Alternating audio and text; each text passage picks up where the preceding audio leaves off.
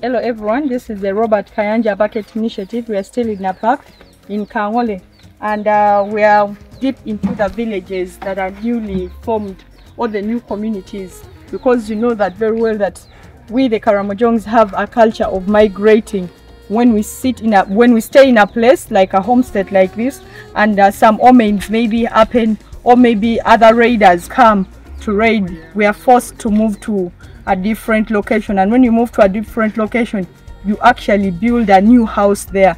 All the other houses from where you you've been you leave them there. It's called ere morot which means a hold home or hold homestead. So it's all left there. The only thing you move with are your clothes and your tools into a new community. Mama has been saying that there are also there is there is actually still a issue of cattle raiding uh, it is one of the reasons why people move from one location to another to another. She said some years back they migrated and her husband was killed during that time. They came to these communities here. And as, as you see this is actually a new house. Even the grass is still new.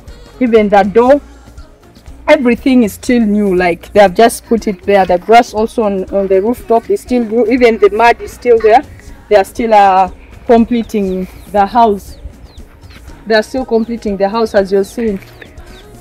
And also the fence as you see the fence is also still new. They are just still uh, making the fence as you see from the background there. She, she was just trying to fence now this new area. Because of the insecurity people are moving from one place to another. As you see the fence is still new.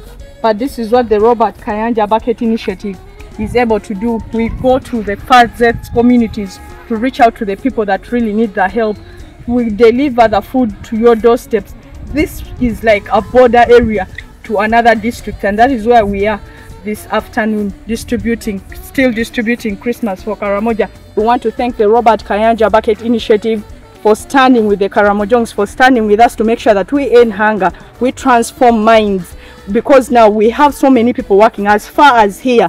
When we bring them food, we tell them that this food has been grown and packaged here in Karamoja. And because sorghum is our staple food for everyone in Karamoja, sorghum is our staple food. You'll either boil it or prepare the posho with milk and ghee, which is called uh, atapanyimwa or angwadich that is what we prepare here. I really want to thank everyone who's standing with pastor to make sure that we plow plant and produce uh, and to make sure that we end hunger. Thank you so much. This is the robert kayanja bucket initiative